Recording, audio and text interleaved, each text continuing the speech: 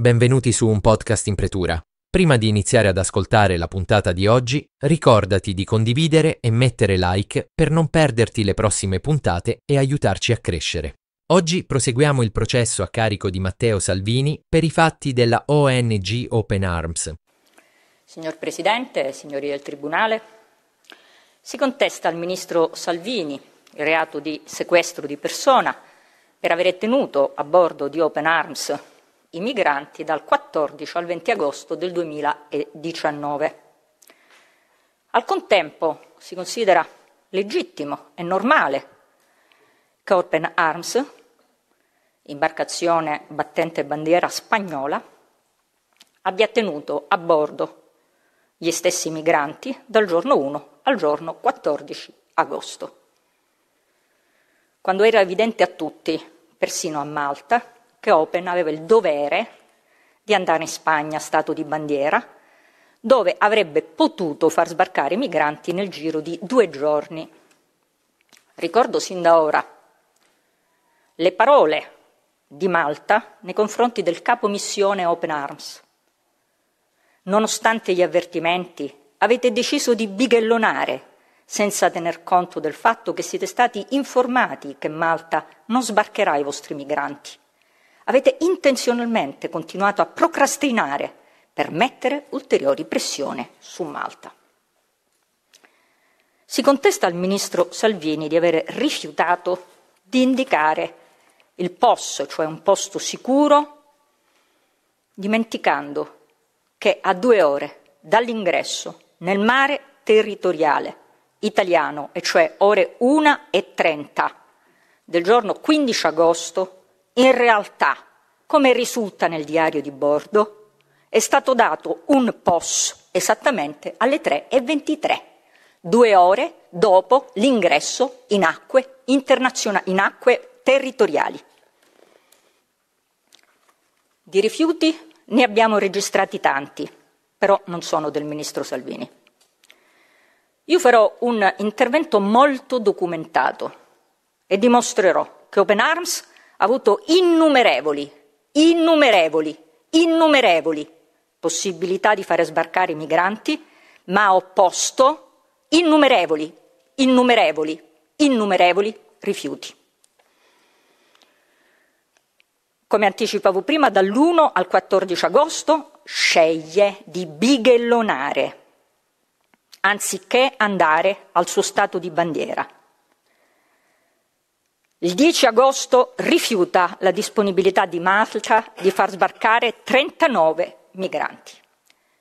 Ma quello che io documenterò, e secondo me su questo forse non ci siamo soffermati abbastanza, ma è tutto documentale, sono le opzioni dal 15 al 20 agosto. Vede, Presidente, depositerò una memoria di 296 pagine perché devo documentare documentare che dal 15 al 20 agosto in realtà Open Arms aveva tantissime soluzioni e non soltanto forse quelle di cui si è parlato finora, perché credo sia chiaro al Tribunale che in qualsiasi momento un migrante stava male poteva scendere. C'è qualcosa di più, c'è un varco, c'è un'apertura, c'è una porta sempre aperta che ha creato la Guardia Costiera. Qual è questa porta aperta? Sono gli unici documenti che troverete allegati alla memoria perché evidentemente non potevo allegare tanti documenti. Ci sono dei documenti dai quali risulta che c'era un varco che definirei diritti umani, perché giustamente io ho ascoltato le domande del Tribunale quando è stato chiesto ma a prescindere dalla salute, quindi un gradino più basso della salute, c'era anche attenzione ai diritti umani? Presidente, io documenterò che bastava dichiarare di non adattarsi alla convivenza a bordo per scendere senza controlli. Questo è documentato. Bastava dichiarare soffro di insonnia e di stress, non mi adatto, non voglio vivere una situazione di promiscuità e si scendeva. Quindi non una malattia, badate, qualcosa di diverso. E documenteremo anche quello che successe dal giorno 18 agosto. Open riceve l'ordine di andare in Spagna dalle autorità spagnole. e rifiuta. Rifiuta prima il porto di Algeciras perché è troppo distante. A questo punto viene proposto di essere scortata, le viene proposta la scorta di una motovedetta italiana, ma lo rifiuta. Le viene proposto un altro porto, più vicino, Palma di Maiorca, e lo rifiuta. Si dirà, ma forse è vero che non potevano i migranti affrontare questo nuovo viaggio, se non che risulta agli atti che Creus dichiara che in realtà i migranti potevano, purché andassero con un'altra barca, senza Open. E allora vede, Presidente, io credo che per inquadrare bene questi fatti dobbiamo uscire dalla logica che è tutto un diritto. Una cosa è un diritto, una cosa è la pretesa.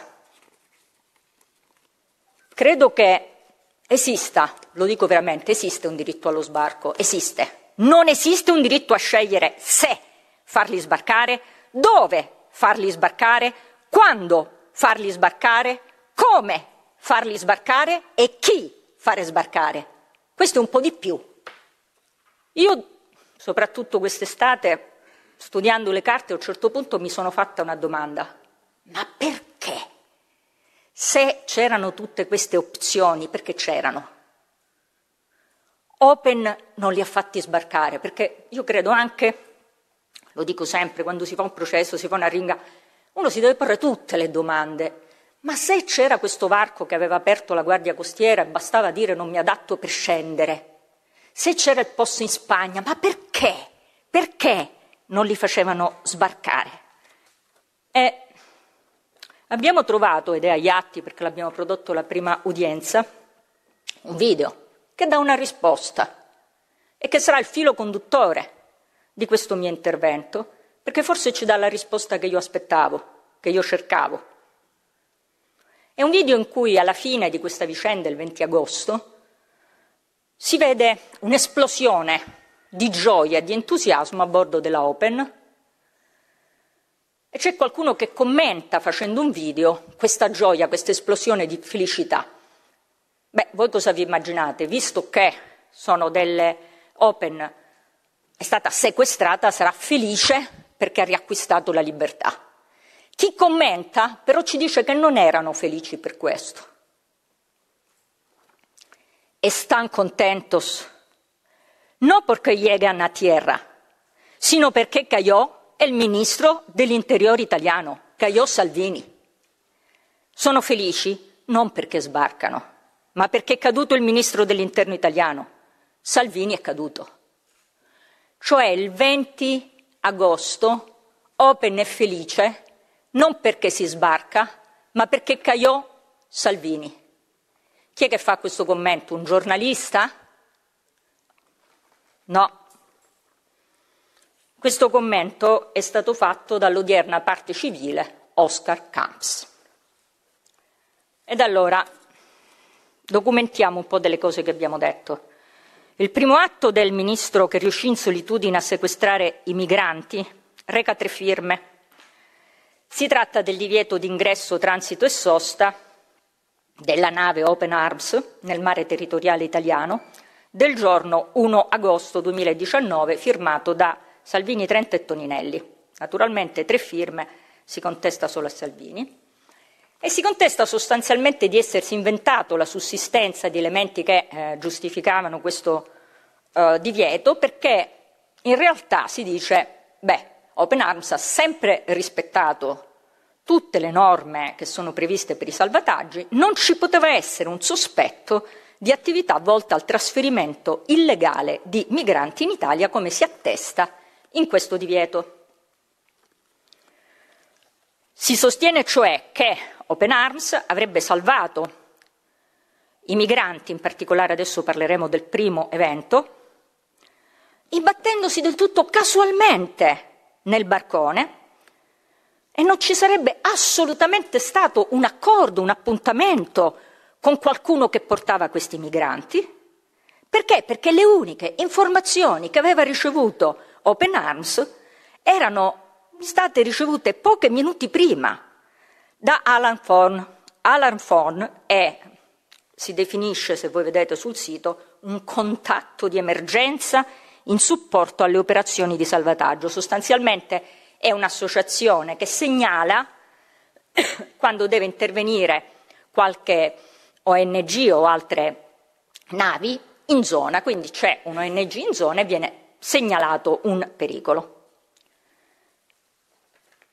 Se non che orari alla mano, risulta che è assolutamente impossibile che Open abbia ricevuto notizie da Alan Thorne, per il semplice fatto che si dirige verso il barcone molte ore prima, perché la mail di Alan Thorne è delle 15.30 e invece risulta che Open Arms avesse ricevuto precise informazioni prima. E allora chi ha avvisato Open? Open Arms è attaccata a Lampedusa. Dichiara di muoversi, foglio 178 diario di bordo, il 29 luglio, ha come destinazione Lampedusa, ma succede qualcosa. Succede sicuramente qualcosa perché viene cancellata la parola Lampedusa e si cambia destinazione. Si dirà, vabbè, può essere benissimo che è successo quello che ha detto Oscar Camps, è nata la nipotina, eccetera. Però la cosa strana è che si cambia destinazione e inizia un pendolamento nord-sud, sud-nord, nord-sud, sud-nord. Perché pendolava?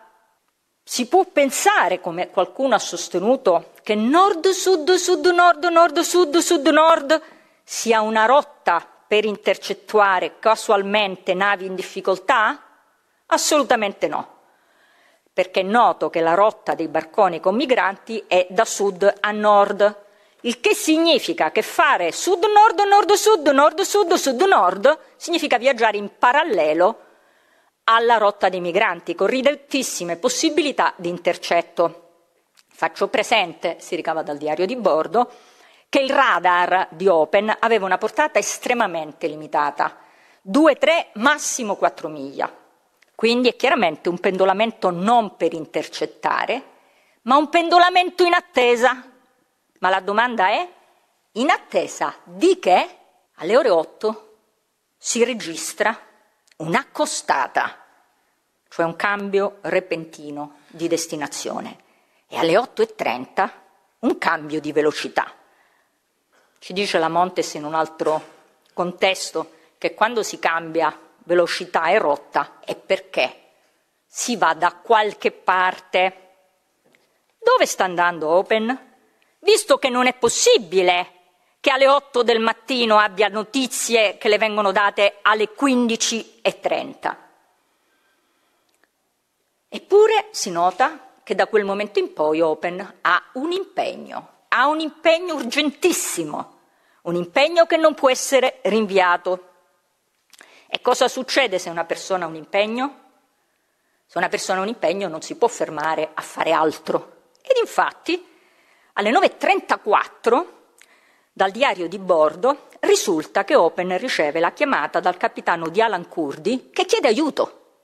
Alan Kurdi chiede di trasferire dei migranti perché evidentemente aveva delle difficoltà. Le ONG hanno come finalità di aiutare. Come mai non è stata aiutata Alan Kurdi se in quel momento ancora Open Arms era senza migranti a bordo? E non stava facendo assolutamente nulla, perché sono le 9.34 e perché la segnalazione del barcone, secondo i dati ufficiali, arriva soltanto alle 15.30. Perché non ha preso i migranti di Alan Kurdi? Naturalmente è stato chiesto. Io l'ho chiesto a Oscar Camps, naturalmente un armatore esperto che conosce bene le regole del mare. Avvocato, buongiorno. Volevo sapere una cosa, lo leggo nel diario di bordo. Il primo agosto voi ricevete una chiamata da Alan Kurdi. Ancora non avevate nessuno a bordo e si legge nel diario di bordo che non potete realizzare il transfert perché sussistono, non sussistono le condizioni legali per un accordo tra i due capitani. La domanda è, ma visto che vi chiedevano aiuto e non avevate nessuno a bordo, come mai non avete potuto aiutare Alan Kurdi? Risposta. Ho capito che la richiesta era di pannolini e cibo. Naturalmente gli ho fatto presente che sapeva perfettamente, perché risulta nel diario di bordo, che la richiesta era di aiuto, poi quando è stato negato l'aiuto hanno chiesto anche pannolini e cibo. Io ho letto il diario di bordo e allora a questo punto ha cambiato versione Oscar Camps. Cambia versione e dice ma non si può fare il transfer senza l'autorizzazione della Guardia Costiera. Gli faccio presente che però hanno sempre sostenuto che se c'è pericolo imminente si può fare. E allora a questo punto gli chiedo, ma scusi, se c'era questo pericolo imminente, imminente, si poteva fare o no questo salvataggio? Beh sì, si poteva fare. E allora, ma perché non avete salvato le persone a bordo di Alan Kurdi? Ritorno, risposta. Avevano bisogno di pannolini. Cioè torniamo alla prima risposta. Allora, Oscar Camps è inesperto e scambia la richiesta di soccorso con una richiesta di pannolini, oppure in quel momento avevano già un impegno. E poi abbiamo la seconda accostata. La seconda accostata è particolarmente misteriosa. Perché? Perché avviene alle 12, quando Open non poteva avere avvistato il barcone perché era a 26 miglia, e vi ho detto che il radar arrivava massimo a 4 miglia. Alle 12 non poteva aver avuto indicazioni da Alan Fon. Che cosa cambia la destinazione?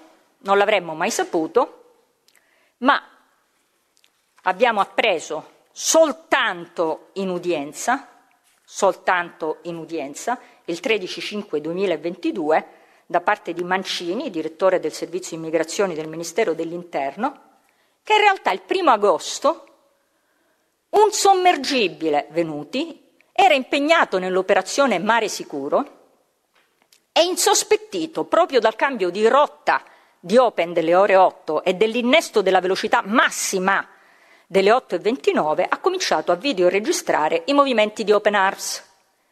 Il sommergibile alle ore 12 ha registrato una comunicazione audio sul canale VHF6 tra due soggetti in lingua spagnola. Attenzione agli orari. Sono le 12. Open non deve sapere proprio nulla del barcone perché è distante e perché viene avvisata alle 15.30. In questa conversazione si parla di un peschereccio con palangari, che sono le caratteristiche esatte del barcone che sarà successivamente avvistato. Ma alle 12 non si potevano dare queste informazioni perché Alan Forn ancora non sapeva nulla, secondo la versione che ci è stata fornita dalla parte civile. Come mai qualcuno alle 12 parla già del barcone? Il pubblico ministero ha liquidato il tema dicendo, beh ma è irrilevante, perché siccome le due persone che parlano magari erano a bordo di Open Arms, è irrilevante. No, forse allora non ci siamo capiti qual è il punto e qual è la gravità. Stiamo parlando di un orario in cui nessuno doveva sapere della barca de- con i palangari sfugge all'accusa che uno o due soggetti a bordo, sarà stato Carlo, Carlitos che era a bordo, sì, ma Carlitos alle 12 perché doveva sapere che c'era un barcone con palangari lontanissimo da andare a prendere? Non lo poteva sapere. A mezzogiorno dunque cambia direzione, che è una direzione assolutamente decisiva. Faccio presente che noi abbiamo appreso di questa comunicazione esclusivamente in aula davanti a questo tribunale, né il Senato né il Tribunale per i reati ministeriali né il Parlamento hanno mai saputo, mai saputo, che alle ore 12 si sapeva già di questa imbarcazione con palangari che sarebbe stata salvata ore dopo. A che ora avviene l'avvistamento del barcone? Come dicevamo prima, il radar ha una distanza limitata di avvistamento, per cui viene avvistata alle 15.10 e viene avvistata, si badi, dopo una serie di spezzate verso est.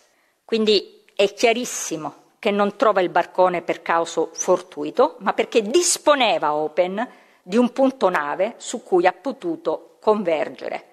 Il bersaglio è stato raggiunto con informazioni precise, mentre in aula c'è stato detto che le informazioni sono arrivate da Alan Fon. Vero che esiste una mail di Alarm Fon, vero che in questa mail si parla del barcone, ma attenzione, la mail giunge alle ore 15.30, 20 minuti dopo dell'avvistamento che era alle 15.10 molte ore dopo della conversazione che fa cambiare rotte, rotta, moltissime ore dopo dal cambio direzione e velocità delle 8 del mattino. Ma vi è di più, vi è di più, perché in questo c'è stata pure forse un pizzico di sfortuna. Alarm, quando invia la mail, si sbaglia, perché indica come posizione, Alarm cos'è che deve fare? Deve indicare alle ONG o altre navi la posizione in cui recuperare eventuali navi in difficoltà. Lo deve, ripeto, indicare se la nave è vicina. Cosa succede? Che sbaglia e indica una posizione in cui si trovava il barcone con i migranti due ore prima, quindi una posizione superata. Ora, se Open veramente avesse seguito le indicazioni di Alarm, avremmo visto sul diario di bordo a questo punto che cosa? Che ovviamente Open avrebbe dovuto fare le manovre indicate per tornare in quella posizione. Perché se io ho notizie solo da Alarm, Alarm mi dice che in una posizione di due ore prima avrei dovuto cambiare rotta. E invece no. Open ignora totalmente le indicazioni di Alarm e non fa nessun cambio. Quindi avete agli atti la prova che alle ore 15.30 viene indicata una posizione superata, superata e che Open ignora le indicazioni di Alarm. Tant'è vero che Alarm, a quel punto, un quarto d'ora dopo, cambia tutto, ricambia mail e finalmente dà le indicazioni quando già era tutto finito. Tutto finito. Quindi, signor Presidente, io credo che gli orari in questo processo hanno un significato fondamentale, perché sappiamo benissimo che una cosa è soccorrere, una cosa è prendere appuntamenti, una cosa è imbattersi, altre cose è concordare una consegna. Allora, chi ha dato puntuali informazioni a Open prima di Alarm? Vede, signor Presidente, il soccorso in mare non è un'operazione fai da te che ognuno si inventa come fare. Ci sono delle fasi che sono previste, che trovano la loro base giuridica nella Convenzione di Amburgo del 1979 e dal piano SAR marittimo nazionale. E ci sono tre fasi, tre fasi che si devono rispettare prima di prendere a bordo delle persone che sono in mare. Bisogna verificare in se e in quale fase era Open quando incontra il barcone. Anzi, in che fase era il barcone? La prima fase, che è prevista da queste regole, è la fase incerfa. Incerfa vuol dire fase di incertezza, situazione nella quale si può dubitare della sicurezza di una persona, di una nave o di un altro mezzo. Bene, se c'è una barca in condizione di incerfa non si può fare nulla. Poi c'è la situazione di alerfa, Alerfa è quella situazione nella quale si può temere per la sicurezza di una persona o di una nave, perché ad esempio è stata ricevuta informazione che l'efficienza operativa del mezzo è menomata. Ma la lerfa è una situazione che non fa ritenere probabile e imminente il pericolo e anche qui si dice alerfa implica che bisogna attendere non si può prendere a bordo nessuno se la situazione è di alerfa. E allora quando è che si può prendere a bordo qualcuno? Quando la situazione è destressfa, che noi abbiamo chiamato qui distress. C'è destressfa, quando si ha ragione di ritenere che ci sia una minaccia di un pericolo grave e imminente. Un esempio è stata ricevuta notizia che la barca in qualche modo si sta riempendo d'acqua. Beh, lì c'è poco da fare, lì si deve intervenire. E infatti, e infatti, cosa dichiara Open Arms quando decide di procedere al trasbordo dei migranti a bordo del barcone?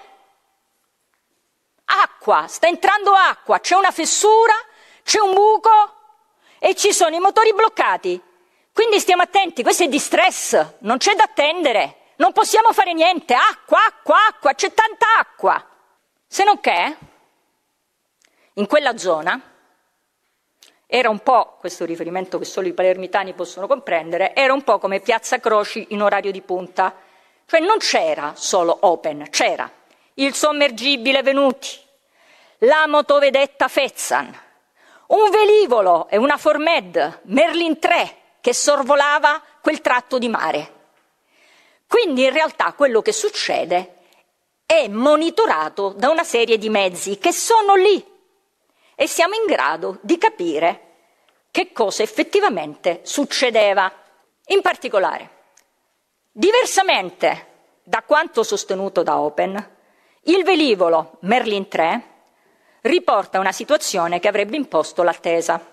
Il velivolo di una Formed effettua un, un costante monitoraggio e riprese fotografiche dell'imbarcazione alle ore 9.58, 11.47, 15.14, 17.08. Quindi riusciamo a capire bene la situazione e risulta un'indicazione di buona galleggiabilità e addirittura, badate, una rotta nord e una velocità di percorrenza sostenuta dai 4 agli 8 nodi fino alle 15 e 14. Cosa vuol dire velocità fino alle 15 e 14? Vi ricordate gli orari? Si dice motori in avaria, alle 15.10 vedo la barca piena d'acqua con motori in avaria. Alle 15 e 14 ancora andava a otto nodi. La presunta avaria è smentita e la barca non è fuori controllo. Non è fuori controllo perché basta guardare il video e questa barca ha una capacità di governo e propulsione perfetta. C'è anche qualcuno, si vede benissimo, che manovra verso poppa, e, e questa è sicuro una persona esperta, ho visto questo filmato un 23 volte, e soprattutto ci sono delle diapositive. Le diapositive ci dimostrano che il barcone non era fuori controllo e ci sono delle immagini subacquee in cui risultano integri gli assiemi piede ed elica dei due motori fuori bordo. Non c'era nulla di rotto. Ma si dirà, Magari il motore non era rotto, ma se c'è un buco. Vedete il buco, io ho visto tutta la giurisprudenza in materia di pericolo imminente. Se c'è una cosa che garantisce il distress è il buco, perché è ovvio, se c'è un buco, immaginate ognuno di noi, magari chi non ha nave, si immagina un canottino, il canottino con un buco è in distress, cioè c'è poco da discutere. E quindi, poi lo vedrete, quasi sempre, quasi sempre viene dichiarato il buco, quasi sempre viene dichiarata la fessura. C'era o no questo squarcio? Anche qui udienze, udienze, squarcio grande, tanta acqua, poca acqua. Alla fine, fortunatamente, perché poi l'onestà intellettuale, e io l'ho visto ormai sempre, l'onestà intellettuale alla fine emerge, a prescindere dalle parti, persino il consulente dell'accusa è venuto qui e ha detto era una chiazza di colore diverso, non c'era buco, non c'era acqua, non c'era nulla, motori che andavano alla massima velocità, imbarcazione integra, non c'era distress. Infine, giusto per completare, a bordo dell'imbarcazione era disponibile un telefono satellitare Turaya, non so se conoscete i Turaya. I Turaya sono dei eh, telefoni, dei, delle, dei dispositivi che hanno il GPS integrato, con il quale è possibile determinare le coordinate geografiche di posizione, il calcolo della distanza e della direzione e memorizzare la posizione inviandola via sms. Ed allora, in sintesi, Abbiamo un'imbarcazione che nessuno può dire che è inidonea, perché era idonea a raggiungere quel tipo di obiettivo, perché l'obiettivo era andare lì, andare in quella zona. Dall'altra parte abbiamo che alle otto e mezza cambia direzione Open e alle 12 riceve notizie.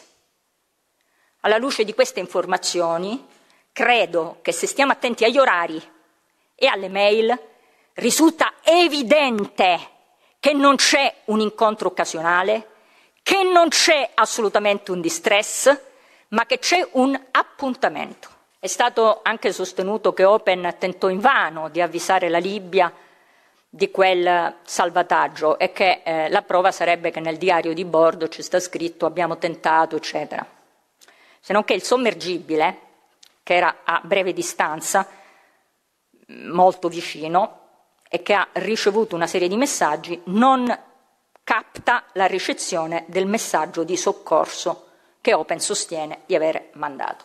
Mi sembra evidente, alla luce di queste prime considerazioni, che quando il provvedimento di divieto sosteneva che c'era un'intenzione di porre in essere un'attività volta al trasferimento illegale dei migranti, quel provvedimento aveva colto nel segno. C'è un capitolo nella memoria, che qui sarebbe troppo lungo illustrare, nel quale spieghiamo il sistema di monitoraggio in tempo reale che c'era al Ministero dell'Interno e che ha permesso di ricevere una serie di informazioni l'una dopo l'altra, sia dal velivolo di cui parlavo prima, quindi quelle fotografie in rapida successione, sia le indicazioni relative alla rotta. E quando in quel provvedimento si parla di un modus procedendi già esistente, si fa riferimento al fatto che non era la prima volta che le ONG ponevano in essere questo tipo di condotta. Per tutti i dettagli sul provvedimento rinvio al capitolo della memoria. Seguire il percorso di Open. Sul secondo evento purtroppo non ho le stesse informazioni che ho sul primo perché, cioè venuti una se ne trova, non c'erano tante venuti sparse. E quindi non posso dare delle indicazioni precise. Io non parlo se non ho indicazioni precise. Possiamo soltanto dire che tanto il primo quanto il secondo evento sono stati effettuati in autonomia in zona SAR libica e ovviamente in autonomia non significa è vivo, sei bravo, hai fatto le cose in autonomia, eh, fare i salvataggi, i trasporti in autonomia è assolutamente vietato perché le linee guida sull'applicazione della Convenzione SAR prescrivono al comandante di prendere contatto con l'autorità SAR competente per territorio e di rispettare le richieste del governo responsabile e in questo caso avrebbe dovuto farlo anche perché non c'era una situazione di, distress. Di distress. L'obiezione che c'è stata fatta è che la Libia in realtà avrebbe potuto massacrare i migranti. Io vorrei fare presente che esiste anche la legge, eh? cioè tra le varie cose di cui tener conto, che esistono le convenzioni, che esistono le conclusioni della riunione del Consiglio europeo tenutasi a Bruxelles in data 28 giugno 2018 dove è stato annotato che tutte le navi operanti nel Mediterraneo sono tenute a rispettare le leggi applicabili e a non interferire con le operazioni della Guardia Costiera libica. Può piacere o non piacere, ma questo esiste. Il 2 agosto c'è questo secondo intervento, ma siamo al 2 agosto, Presidente.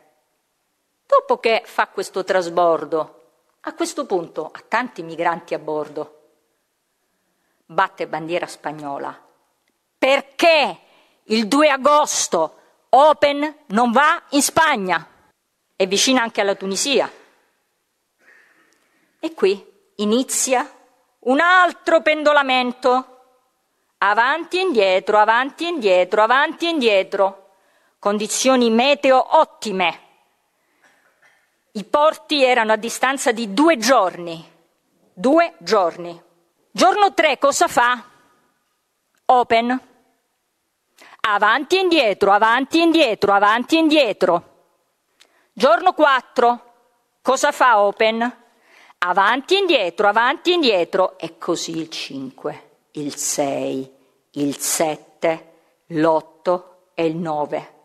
Poi c'è il trasbordo, il cosiddetto terzo evento, faccio presente che io vi ho letto all'inizio del mio intervento che anche Malta si era resa conto di questa condotta di Open e ci sono tante mail che per ragioni di tempo naturalmente non leggo.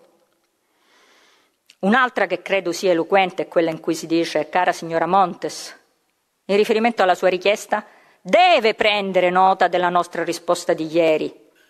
Tuttavia, ripete il termine usato nell'altra mail, lei ha scelto di continuare a bigollonare senza intraprendere azioni immediate per evitare tutto questo. E il tenente in servizio presso la stazione navale della Guardia di Finanza di Palermo, Anedda, dice che è chiaro che i primi due interventi sono stati fatti sottraendosi al coordinamento dello Stato competente in quell'area e che si stava aspettando l'esito di un ricorso legittimo al provvedimento interministeriale, ma in questa condotta di attesa io ravvedo, ho ravvisato, ho scritto che ravvedevo un'ipotesi di favoreggiamento dell'immigrazione clandestina, perché comunque, in maniera ostinata, l'imbarcazione si era messa in una condizione tale che o era Lampedusa o non poteva essere nessun altro posto. Ostinata. Bighellonando, bighellonando, intanto Open incrocia tantissimi, tantissimi mezzi che le chiedono hai bisogno di qualcosa? 7.36 sorvolata da un aereo militare, una petroliera appartenente all'operazione Unaformed Sofia, riceve una chiamata da Moonbird, aereo di ricognizione Sea-Watch, altro aereo spagnolo, altri aerei militari, passa Ocean Viking e dice hai bisogno di qualcosa? Non hanno bisogno di nulla, sono in attesa. C'è stato detto che bighellonava perché l'Italia non era stata chiara quando aveva notificato il divieto di transito e sosta. Ora, a parte che boh, la parola divieto, per carità, non so in spagnolo come fa, però se c'è scritto divieto più o meno si capisce che è qualcosa che non devi fare. Però si continua a sostenere, e l'hanno fatto un po' tutti i test, i testi Mark Ray Creus, Annabel Montes, Oscar Camps, Riccardo Gatti, hanno tutti detto, ma noi in quella fase bigollonavamo, cioè stavamo lì, perché eravamo in attesa di una risposta dall'Italia. Certo, potevamo andare in Spagna, ma perché andare in Spagna se l'Italia non era stata chiara? Quindi praticamente avete sbagliato, non dovevate scrivere divieto, serviva qualcosa di più eclatante. Fatto sta che è assolutamente non corrispondente a quello che risulta agli atti quanto dichiarato, perché in realtà era chiarissima a Open la volontà dell'Italia di porre un divieto, perché risulta in tutti gli scritti difensivi degli avvocati, che sono ovviamente scritti della Open Arms, in cui si continua a dire che c'è un grave pregiudizio perché non viene autorizzato lo sbarco dall'Italia. E allora se i tuoi avvocati dicono che non viene autorizzato lo sbarco dall'Italia, hai capito o no che non era autorizzato lo sbarco dall'Italia? Quindi non, non ci si venga a dire che non era chiaro quel divieto. E passiamo al terzo evento. Come dicevo, Presidente, io sul primo ho tante informazioni, sul secondo e il terzo di meno, però qualcosa sul terzo ho. Solito modus procedendi, questa frase è quella che poi c'è nel divieto. È la notte tra il 9 e il 10 agosto, però tecnicamente dobbiamo parlare del 10 agosto perché ovviamente era passata la mezzanotte. Open, stiamo parlando di un evento che avviene in acque territoriali maltesi, dichiara che c'è una imbarcazione, come al solito, in distress, quindi pericolo imminente, minaccia, eh, non si può aspettare. E eh, viene segnalato anche nel diario di bordo, però in realtà si parla di distress, ma Eco 3, allora vabbè, il Tribunale lo sa, Eco 3 e Eco 1 sono le due imbarcazioni che sono eh, di servizio rispetto all'open arms e che sono quelle che vengono utilizzate per andare presso i barconi a prendere i migranti. Quindi Eco 3 comunica che la barca in legno con approssimativamente 40 persone è poco inclinata e apparentemente in buono stato. E comunica anche che non esiste traccia di perdita d'acqua. E si dice a Malta, c'è la comunicazione, abbiamo trovato un'imbarcazione in queste condizioni. Ovviamente Malta, visto che non c'è acqua che entra, è apparentemente in buono stato, dice non devi procedere al salvataggio perché non è un distress, però puoi dare, se vuoi, intanto i giubbotti di salvataggio. Io prego il Tribunale di guardare cosa succede nei successivi dieci minuti. Improvvisamente questa era un'imbarcazione che abbiamo detto che non imbarcava acqua, era perfetta. Improvvisamente all'1.05 la barca di legno sta imbarcando acqua. C'è una falla e qualche minuto dopo, anzi ci sono tantissime forature. Cioè la stessa barca che prima era in, distre- che era in distress. Malta dice guarda che non è in distress, improvvisamente viene dichiarato che praticamente è un colabrodo. Di fronte a queste comunicazioni Malta ovviamente riconosce la sussistenza di un pericolo, e però fa presente che possono procedere al salvataggio e poi Malta provvederà a fare sbarcare presso Malta, presso una motovedetta maltese, i 39 migranti presi a bordo in quella occasione. C'è questa comunicazione.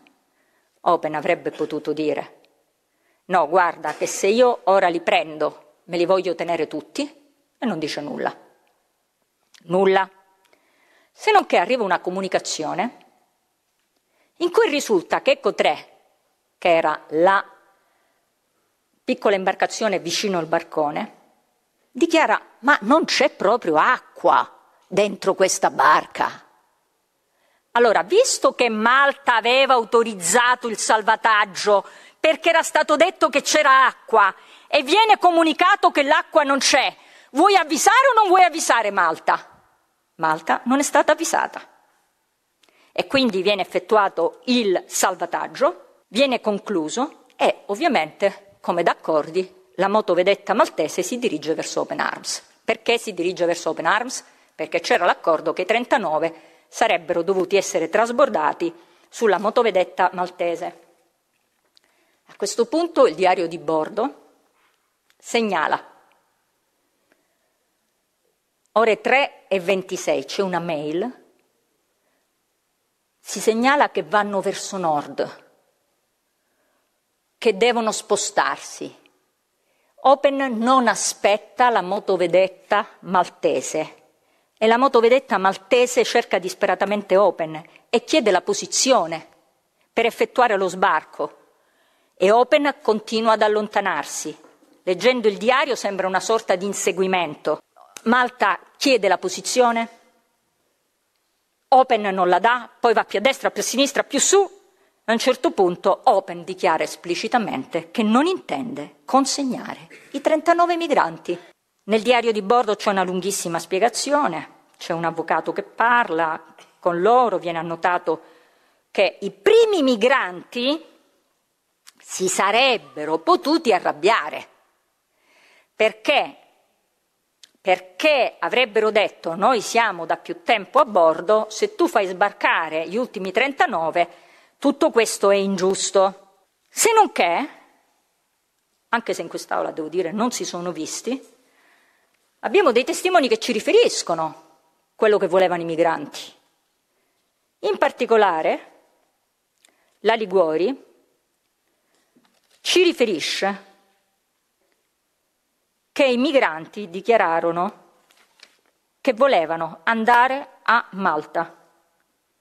E quando gli è stato chiesto ma il comandante come giustificava che non li faceva sbarcare, la risposta è stata hanno detto che per cercare di calmare, vista la situazione, perché alcuni volevano andare a Malta, è stato detto che però le procedure per quanto riguarda la protezione erano più veloci in Italia. Quindi hanno 39 migranti, non li danno a Malta, dicono che si sarebbe creato una sorta di insurrezione viene fuori che i migranti sarebbero scesi e forse magari una cosa di cui lo Stato italiano dovrebbe essere fiero, cioè siamo veloci nelle procedure, in realtà è un argomento utilizzato per non farli sbarcare. Passiamo a un altro argomento. Presidente, quando lei ha mh, una situazione di distress, me lo segnala e io. A questo punto passiamo a un altro argomento. Ci sono parti, eh, signori del Tribunale, che comprenderete che non sono trattate in maniera completa e per questo ovviamente rinvio alla memoria. Abbiamo seguito il percorso di Open Arms in questi tre eventi per documentare la legittimità del divieto emesso dal Ministro Salvini insieme a Trenta e a Toninelli. Ma soprattutto abbiamo documentato il viaggio della Open Arms perché, a mio avviso, per capire bene quello che succede dopo, bisogna capire cosa voleva Open Arms. È questa la domanda che ci dobbiamo fare. Rispetto a questi tre eventi è impossibile ovviamente ipotizzare una competenza dell'Italia, perché è una nave spagnola e in nessun momento l'Italia coordinava gli eventi. Alla fine del mio intervento ci sarà un intervento estremamente breve ma puntuale dell'Avvocato Colotti sulla giurisdizione, quindi salto questo capitolo. Quello che mi interessa invece sottolineare che poco fa ho richiamato la deposizione del eh, teste Anedda. Il teste Anedda aveva detto Open Arms Bighellona perché era in attesa del TAR ed era un profeta perché effettivamente il 14 agosto il TAR emette un provvedimento che permette a Open di entrare in acque territoriali. Però su questo provvedimento dobbiamo essere chiari una volta per tutte. Ho sentito dire che è un provvedimento che annulla il divieto di transito, che di fatto boccia il provvedimento che era stato emesso. Allora, era un provvedimento inaudita altera parte. È impossibile, certo leggendo se uno poi inventa si può inventare, è impossibile affermare che a seguito della decisione del TAR fosse stato annullato o sospeso integralmente il provvedimento di divieto. Questo è impossibile. È impossibile perché si limita, si limita quel provvedimento a consentire l'ingresso in acque territoriali, testuale, al fine di garantire assistenza alle persone soccorse maggiormente bisognevoli.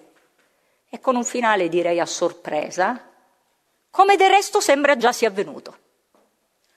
Quindi il TAR non dice è totalmente sbagliato, annullato, dice per adesso, in attesa di discutere, in attesa di discutere, devi solo dare assistenza, devi solo dare assistenza.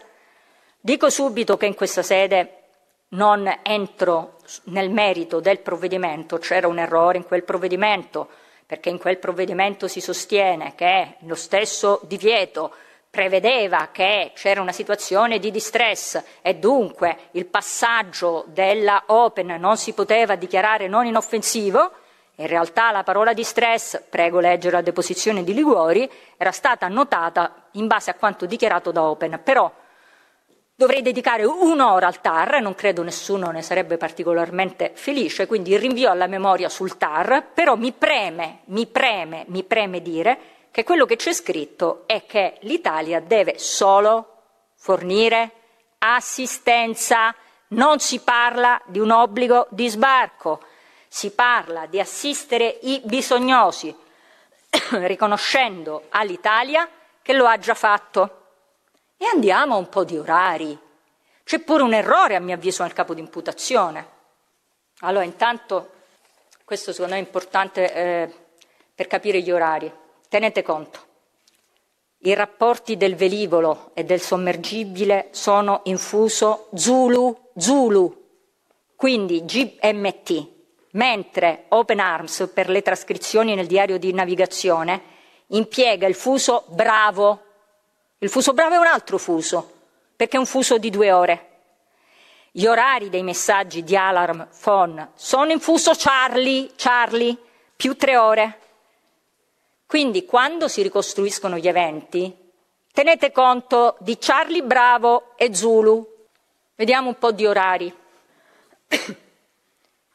Intanto, se si contesta al ministro Salvini il reato, i reati, i reati, nel momento in cui, a partire dal momento in cui entrano nelle acque territoriali italiane, c'è poco da fare, non è 14, perché il giorno è 15, è l'1.30 del 15. Ed è una mail che sicuramente ha quell'orario, ho controllato tutti i fusi, quindi eh, c'è poco da discutere, non è 14 ma è 15.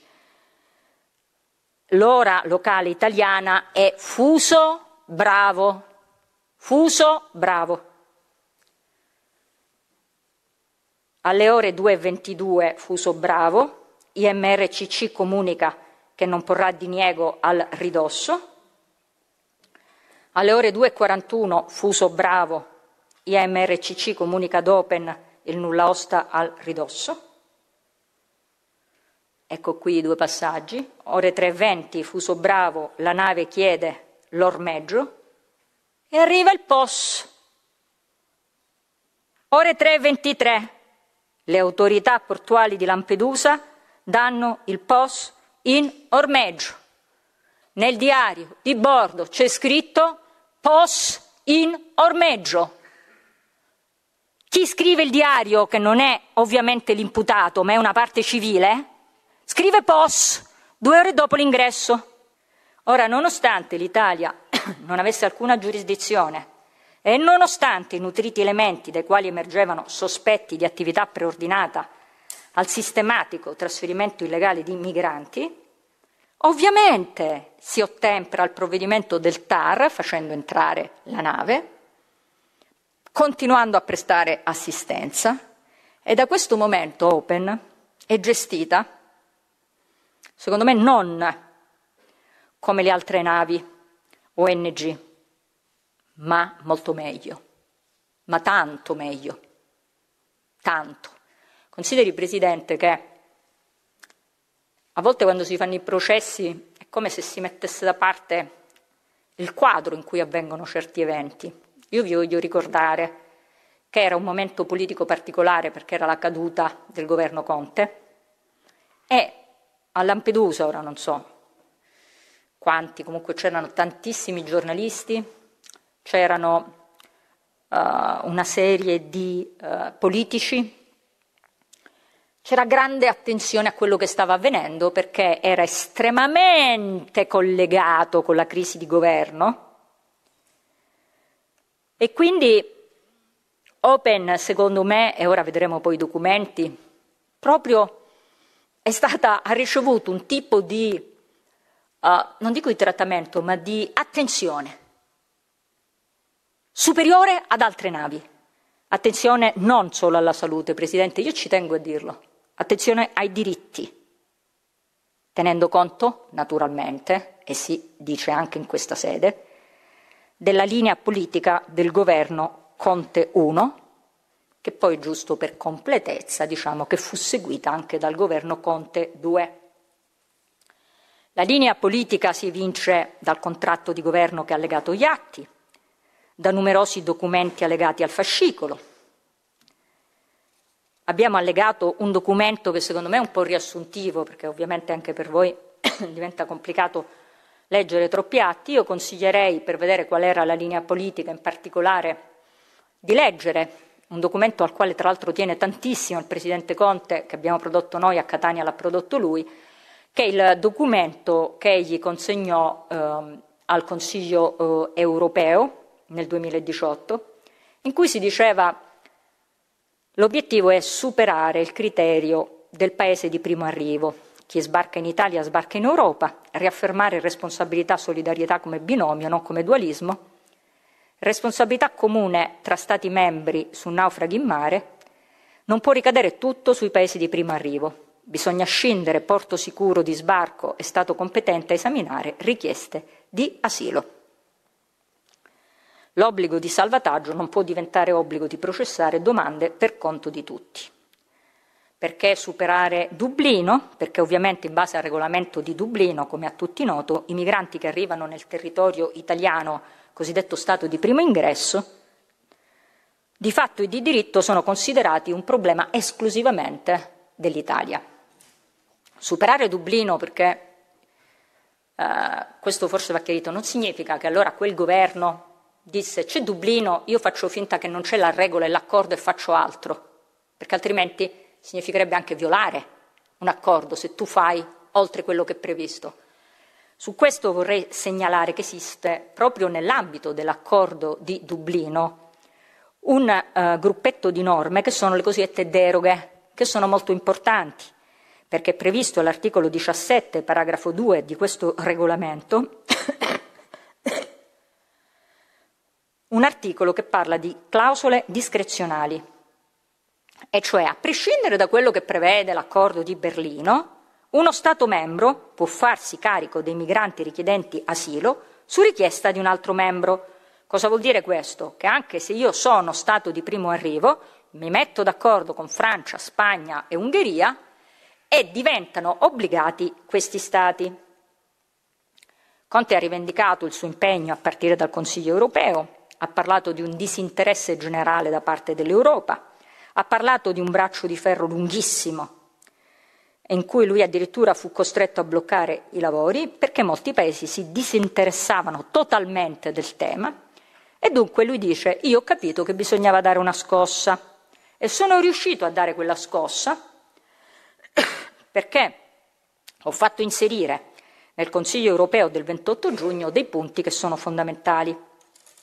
In particolare in questo Consiglio d'Europa è stato inserito l'impegno di collaborazione dell'Unione Europea nei confronti dell'Italia e un nuovo approccio allo sbarco. Chi viene salvato in operazioni di ricerca e soccorso deve condividere con gli altri Stati le responsabilità L'impegno è quello della presa in carica di coloro che vengono salvati nel territorio dell'Unione Europea da parte di tutti gli Stati membri con uno sforzo condiviso. Quindi, sulla scorta del riconoscimento di queste istanze nazionali, la gestione degli sbarchi diventa condivisa e c'è un nuovo schema operativo, pur tenendo presente la tutela della salute e diritti dei migranti. Il nuovo schema operativo diventa quando arrivano dei migranti, prima si redistribuisce e poi si fanno sbarcare i migranti. Perché? Perché prima redistribuire e poi sbarcare? Ci sono gli hotspot. Perché non farli sbarcare, mandarli negli hotspot e poi redistribuire? Ce lo spiega il test Moavero Milanesi, all'epoca dei fatti, ministro degli esteri, 17 maggio 2024. La linea generale del governo Conte era uno, cerchiamo di favorire una modifica del regolamento di Dublino nel caso dei flussi mediterranei o centrale, perché finisce di diventare tutto complesso e finisce per diventare complesso quello degli oneri conseguenti in capo all'Italia. La linea subordinata era nel momento in cui si trova un accordo di redistribuzione, cerchiamo, per quanto possibile, di ottenere la redistribuzione prima dello sbarco, non dopo lo sbarco, prima dello sbarco, perché soltanto se lo facciamo prima il regolamento di Dublino ci permette di evitare gli oneri che sono sempre in capo all'Italia ci permette di evitare di trattare, di esaminare le domande di protezione. Questo non lo dice Salvini, lo dice Moavero. Quali sono gli oneri? Ospitare i richiedenti per mesi o a volte per anni in pendenza del procedimento amministrativo, gestire i rimpatri. Ma a questi oneri se ne aggiungono altri. È previsto infatti in alcuni casi che il richiedente deve essere trattenuto in presenza di un rischio di fuga che potrebbe compromettere determinazioni degli elementi su cui si basa la domanda di protezione, quando vi sono fondati motivi per ritenere che la persona abbia manifestato la volontà di presentare la domanda di protezione internazionale al solo scopo di ritardare o impedire l'esecuzione delle decisioni di rimpatrio, quando lo impongono motivi di sicurezza nazionale e di ordine pubblico. Cosa vuol dire questo? si tentava di superare Dublino, in attesa di superare Dublino si riesce a ottenere che il Consiglio dice ok, mettetevi d'accordo tra voi, ma è del tutto inutile fare una redistribuzione se intanto si fanno scendere negli hotspot perché scattano gli oneri, quindi si devono evitare gli oneri. Questa è la linea, questa è la linea politica. Quindi non è che ora ci possiamo in qualche modo immaginare, non per ridimensionare i poteri del Ministro degli Interni, ma non è che era una linea decisa da Salvini. Prima redistribuire, poi sbarcare, era la linea di quel governo. E che fosse condivisa risulta da ogni atto che c'è in questo processo, perché noi abbiamo prodotto una serie di atti del processo di Catania. Ah, sarebbe lungo eh, citarli tutti. Cito a titolo d'esempio il caso di Ciotti. Perché? La richiesta di POS è del 17 agosto 2018. La concessione del POS è del 26 agosto 2018. Quindi il tempo di ritardo sarebbe anche superiore a quello contestato attualmente al, in questo procedimento. Ma quello che mi interessa è che durante questo caso di Ciotti, abbiamo prodotto questo documento, c'è un, una riunione a Bruxelles e c'è un resoconto di questa riunione in pieno sequestro, perché era il caso di Ciotti, quindi erano ancora a bordo, il 24 agosto 2018, e eh, in questo verbale risulta che l'ambasciatore Maurizio Massari, che scrive anche per conto di Vitolo, Vitolo, tenete conto che è il consigliere dell'ufficio diplomatico della presidenza di Consiglio di Conte, quindi Massari è un uomo di Conte, scrivono alla Belloni, a Benassi, a eh, Guariglia e Baiano, eccetera, abbiamo aggiunto che la redistribuzione non può comprendere unicamente coloro che hanno diritto alla protezione internazionale, ma debba avvenire ex ante ex ante, l'uomo di Conte, durante il tema di Ciotti con i migranti a bordo, ribadisce in Europa prima si redistribuisce, poi si sbarca. E per il caso di Ciotti, agli atti avete la lettera di Conte in cui dice che le allora determinazioni del ministro dell'interno, quindi di fare stare a bordo durante la redistribuzione i migranti, per le quali è stata presentata richiesta di autorizzazione a procedere sono riconducibili a una linea politica dell'immigrazione da me condivisa come capo del governo. E sempre Conte continua le azioni poste in essere dal ministro, che ha tenuto a bordo tantissime persone in attesa di sbarco, attuano l'indirizzo da me sostenuto e coerente con la linea di governo. Di Maio e Toninelli, rispettivamente all'epoca vice premier e ministro delle infrastrutture, vanno oltre sul caso 18, depositano una memoria. Le determinazioni assunte nelle procedure di salvataggio sono riconducibili a una linea politica condivisa da tutto il governo. Il governo italiano è riuscito a ottenere, coinvolgendo paesi terzi, un'assunzione di responsabilità nella gestione dei flussi migratori. In questa fase i suddetti membri del governo, il ministro delle infrastrutture, eh, dei trasporti da Nino Toninelli in qualità di responsabile delle operazioni in mare. Ecco, giusto, vedete chi è responsabile delle operazioni in mare. E il vicepresidente del Consiglio dei Ministri Luigi Di Maio, nelle vesti di capo politico, hanno condiviso le modalità delle operazioni di salvataggio della Diciotti. Cioè, non è che dice una linea, hanno condiviso il salvataggio. Quindi quello che è successo è da imputarsi a tutti noi. Quindi la stessa identica cosa, in una fase di, un po' diversa politicamente, aveva avuto una certa condivisione, direi.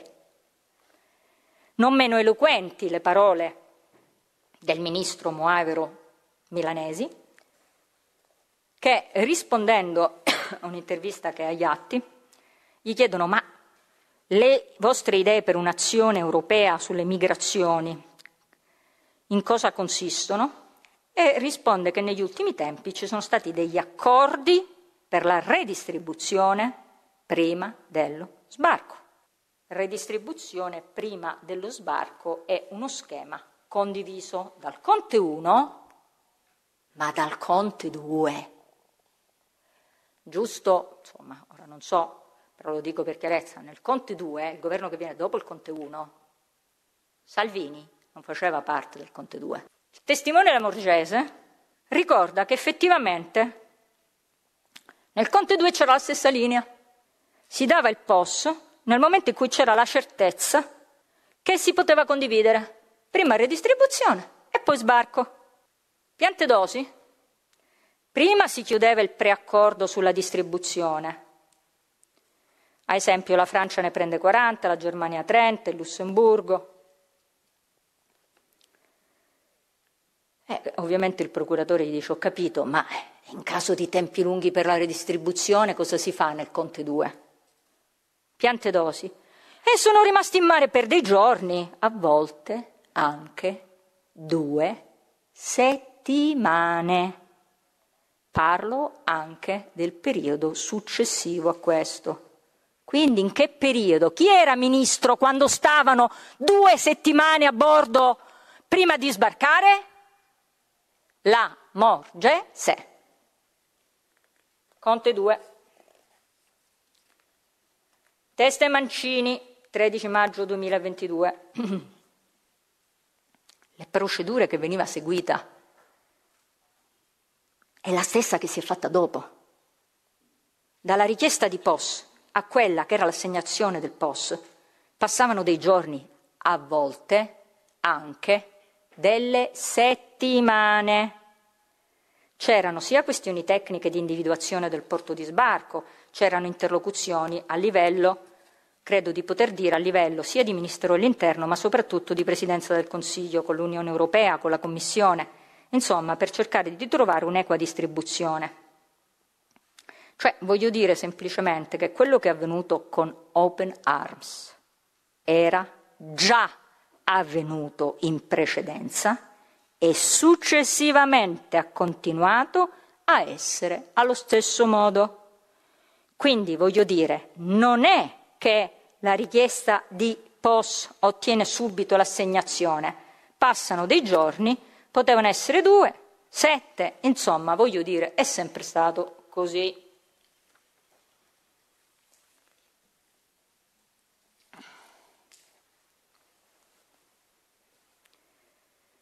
Nella sentenza passata in giudicato del giudice dell'udienza preliminare Gregoretti si riconosce, quando viene ricostruita la politica di gestione dell'immigrazione, che era la stessa identica politica nel Conte 1 e nel Conte 2. Si tratta, virgolettato questo, di una politica condivisa dalle forze che sostengono governo Conte 1 e governo Conte 2 dato che i ministri degli interni interessati che si sono succeduti nel tempo hanno avuto lo stesso modus procedendi, da un lato fermezza e decisa proposizione del principio in base al quale prima si redistribuiscono i naufraghi salvati e dopo si fanno sbarcare dalle navi che sono andati a soccorrerli. Questa è la sentenza passata in giudicato del GUP di Catania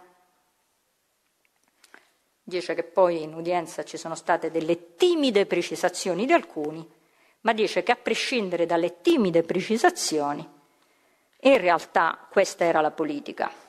Agli atti troverete, e però fatto, abbiamo fatto un elenco per rendere più agevole la ricostruzione, la prova di tutto questo.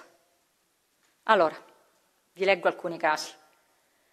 Conte 1, Diciotti, Sbarco avvenuto a Catania il 26 agosto, a dieci giorni dalla richiesta del 17 agosto 2018.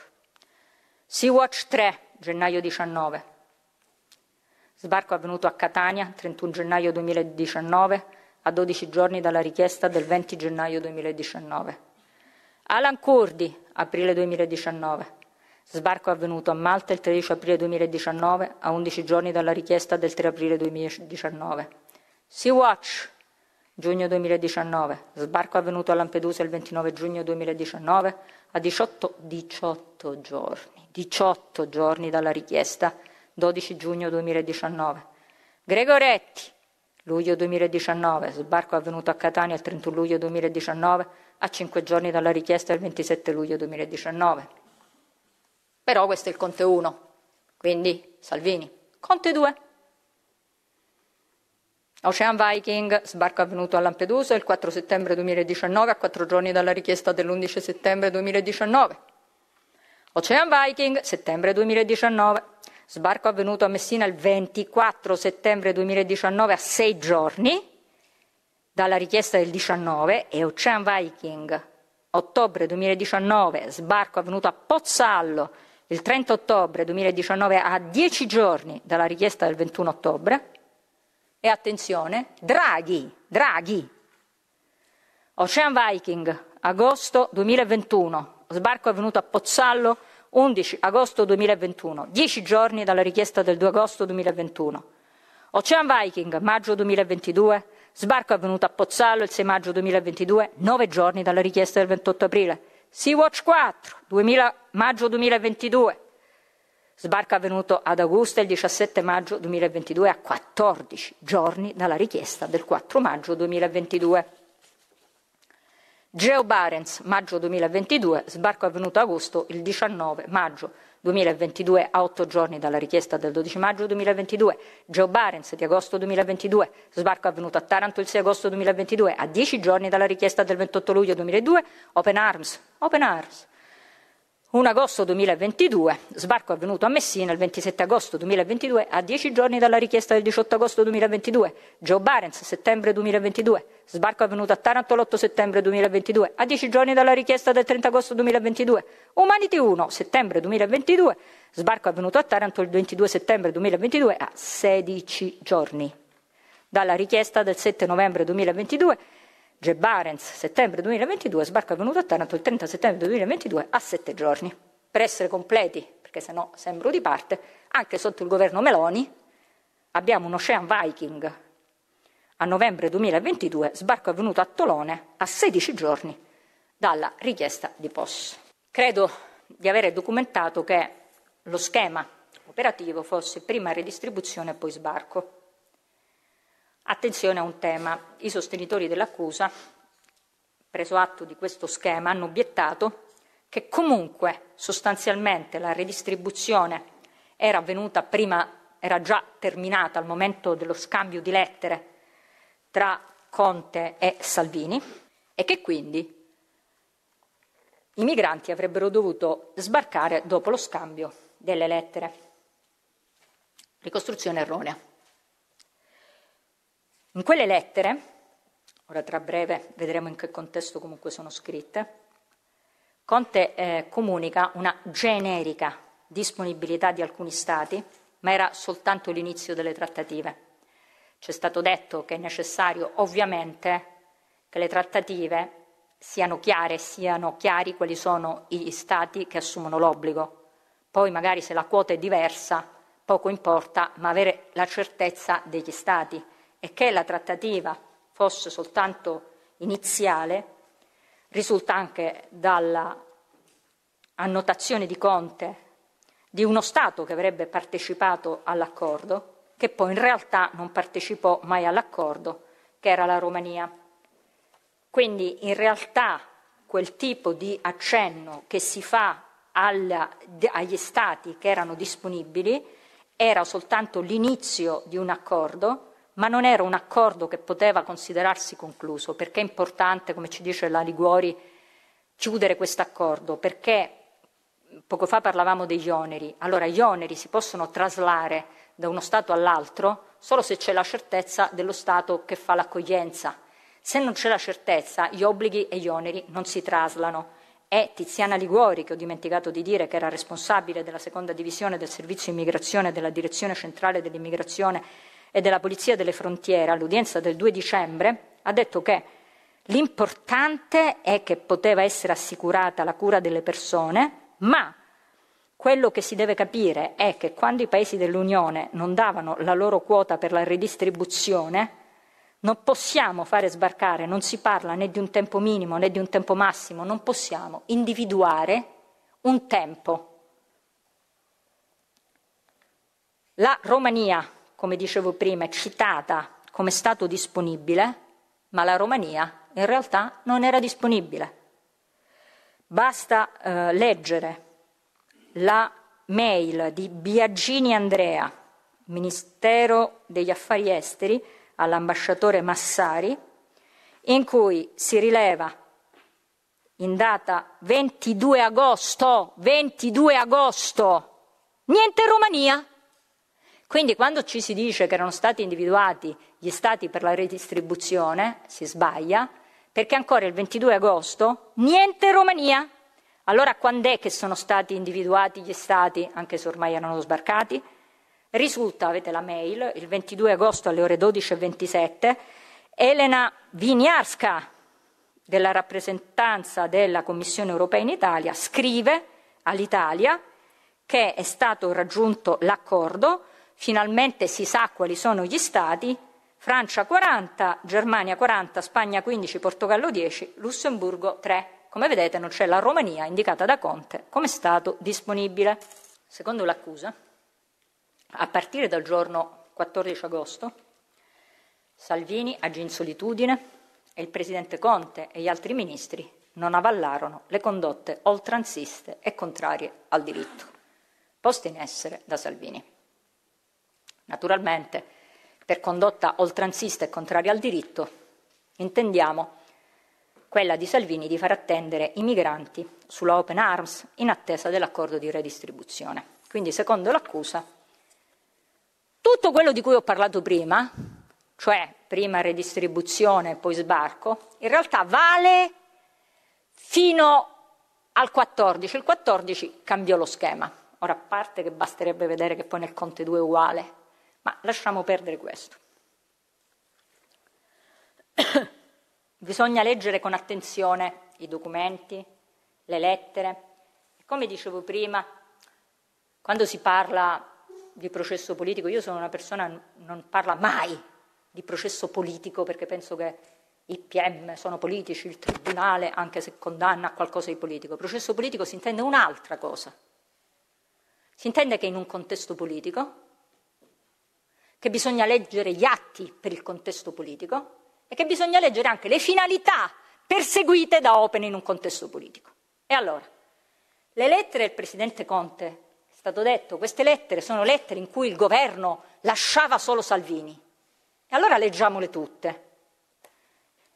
Queste lettere si collocano nella fase della crisi politica di agosto 2019. È una fase particolare, perché c'era chi stava uscendo dal governo e c'era chi stava creando un altro governo. E quando si creano dei governi, legittimamente si lanciano dei messaggi, si lanciano ta, dei pizzini d'amore. Intanto, all'epoca dei WhatsApp, è raro trovare scambi epistolari. Invece abbiamo uno scambio epistolare. Conte ritiene di scrivere di suo pugno su carta, mentre normalmente mi risulta che ci si manda dei messaggi o si telefona o si parla tramite gabinetti. Comunque il giorno 14 agosto Conte scrive a Salvini e il giorno dopo, in modo più ampio, manda la lettera al Corriere della Sera, il che non mi, mi sembra che sia una modalità per tenere, credo, riservato il colloquio, perché insomma, più o meno il Corriere qualcuno lo legge, non diciamo qualcuno, tutti lo leggono, prioritario. Allora, questa lettera aperta è una lettera aperta che potete leggere tutti. Conte sa perfettamente che la politica redistribuzione prima dello, dello sbarco ha caratterizzato il suo governo, così come la linea del rigore.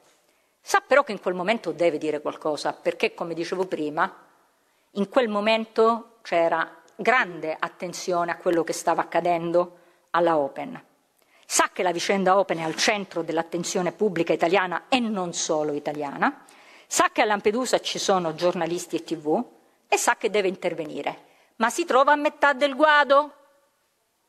Deve lanciare un messaggio ai futuri alleati, non può tornare indietro dalla sua posizione. E mentre secondo la Procura prende le distanze sulla scelta di Salvini, assolutamente no Assolutamente no. Conte in quella lettera esclude categoricamente 15 agosto che la sua volontà fosse quella di far sbarcare i migranti. Distingue quello che lui vuole sui presunti minori e quello che vuole sugli altri migranti. Come mai parla di presunti minori e non parla degli altri? Si era dimenticato degli altri migranti? Assolutamente no. Si stava occupando lui stesso dei migranti in quelle ore. Stava ancora facendo le telefonate per redistribuire prima dello sbarco ed erano appena iniziate le trattative, è un momento politico particolare. Quando scrive la lettera aperta, contesta parzialmente Salvini, lo contesta solo sui minori, ma soprattutto gli contesta una cosa, di avergli attribuito quello che ora gli, gli attribuisce l'accusa, non è vero affatto che Conte voleva fare scendere i migranti.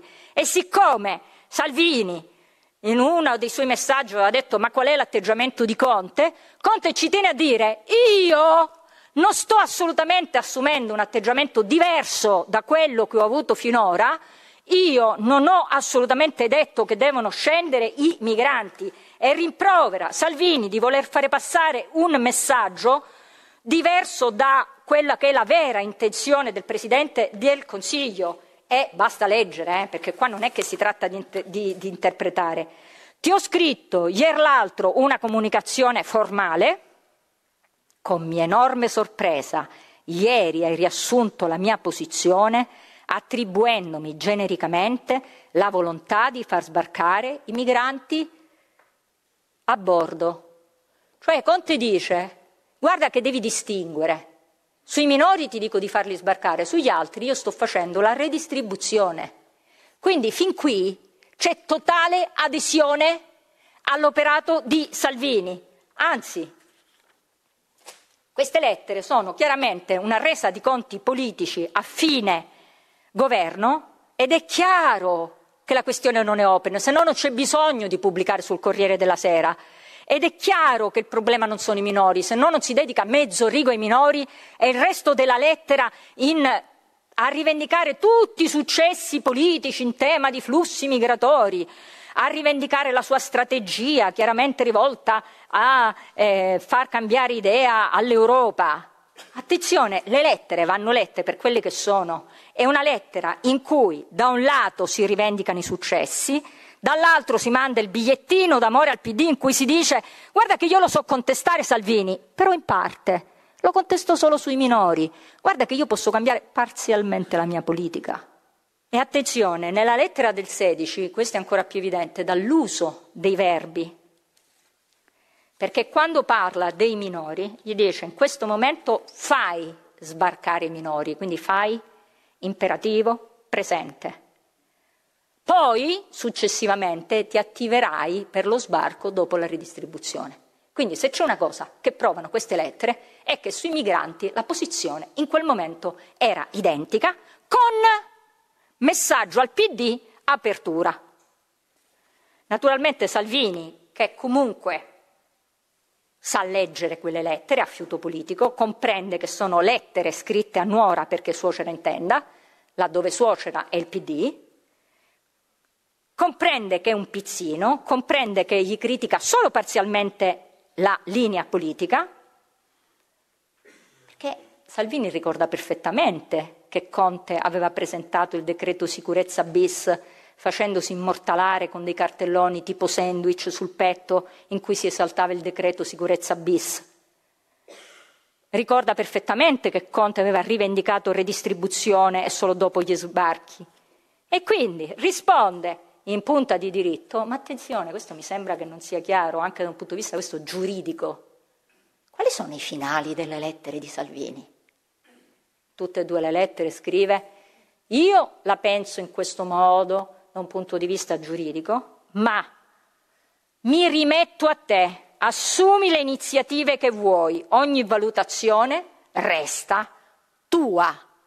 Quindi Salvini, che ha capito che c'è un tema politico e forse anche un tema giuridico, dice ok, io la penso diversamente, fai tu.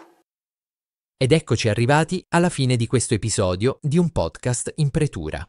Se avete trovato interessante questo episodio, vi invitiamo a mettere mi piace e a condividerlo con i vostri amici. È grazie a voi che queste storie possono continuare a vivere e a raggiungere sempre più persone. Non dimenticate di iscrivervi al podcast per non perdere i prossimi episodi. Nella prossima puntata parleremo di un'altra vicenda drammatica che ha segnato profondamente la coscienza collettiva del nostro paese. Grazie per averci ascoltato e ricordate, la memoria è un dovere di tutti noi.